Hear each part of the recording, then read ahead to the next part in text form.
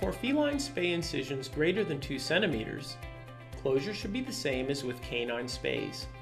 For incisions 2 centimeters or less, a modified horizontal mattress pattern may be used to efficiently close the feline dermis. Begin by closing the linea alba using a single cruciate suture pattern.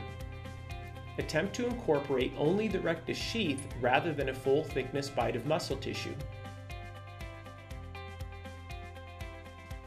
To begin the dermal closure, use digital pressure with the non-dominant hand to hold the skin taut.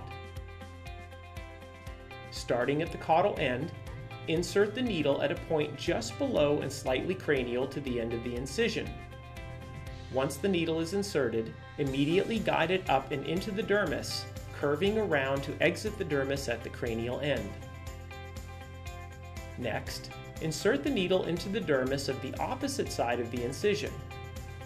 Curve the needle around and through the dermis, similar to the first pass. However, exit at a point just below and slightly cranial from the end.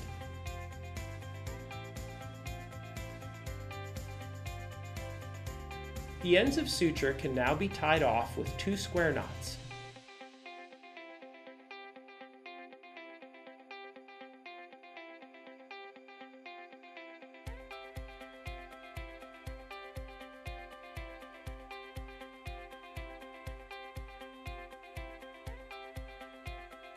If the knot is buried properly, the tags may be gently pulled upward and cut off at the knot.